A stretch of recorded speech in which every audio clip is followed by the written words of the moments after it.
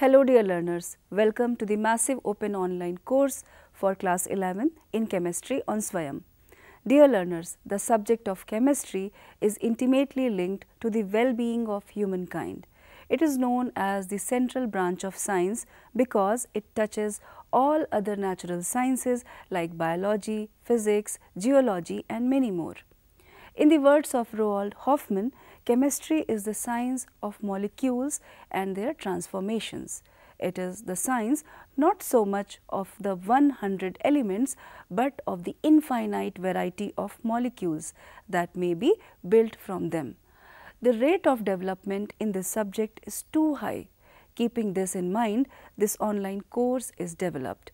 It is intended to cover the topics on some basic concepts of chemistry, structure of atom, classification of elements and periodicity in properties, chemical bonding and molecular structure, states of matter, thermodynamics and equilibrium. This course is intended for the students of class 11th semester 1 specifically and also for others interested in brushing up their knowledge in chemistry in general. These chapters are divided into modules as per syllabus.